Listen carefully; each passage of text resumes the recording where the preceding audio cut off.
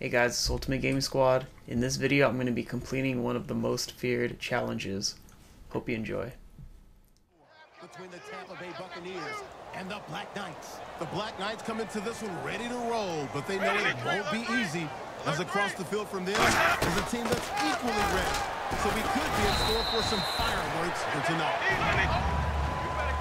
So now let's head on over to reigning Raymond James Stadium in Tampa as we welcome in our announcing Gaudin and Charles Davis.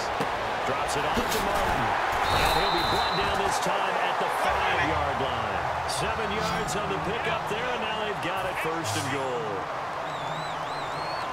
They're going to hurry back to the line now. Here's Winston. Surveying the field. And he can't get a throw off. He's taken down. What a huge play at this point in the game. He's back to throw. Evans has it left side. A good run there, nine yards, but it still leaves him with work to do on third and goal.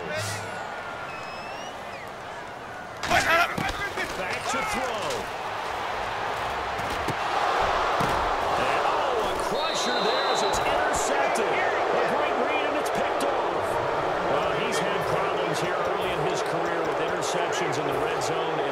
And that rears its ugly head again there. And you know what happens, too, is that even when you have those issues, your offensive ah! coordinator, your quarterback coach is trying to give you confidence in that situation. Now, hang on here. Timeout called. Timeout called by the defense.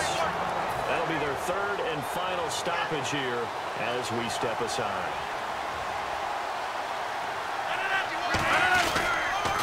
Now they'll run it on the toss.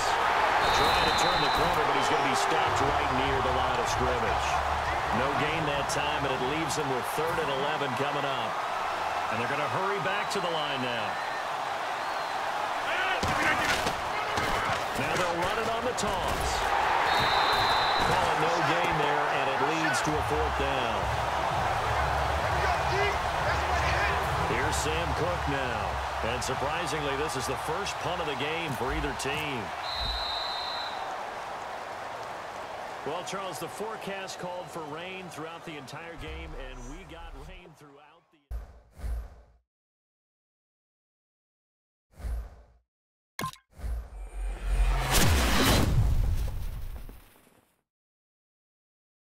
Don't forget to like and subscribe for more videos.